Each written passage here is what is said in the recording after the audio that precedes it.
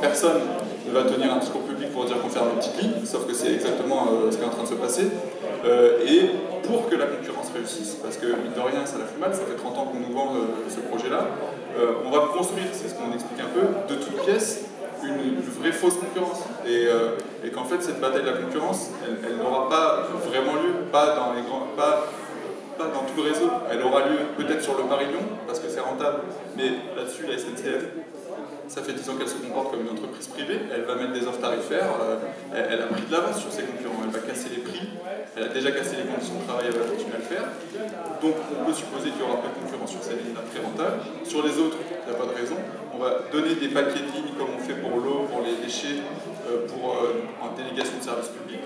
Mais tout ça, c'est l'argent public qui va, qui va y aller, c'est pas la concurrence qui va c'est l'argent public.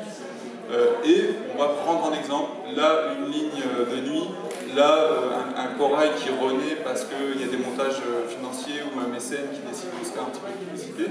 C'est ça la concurrence. Donc tout ça est construit de toutes pièces, et comme disait Gwen, c'est très idéologique.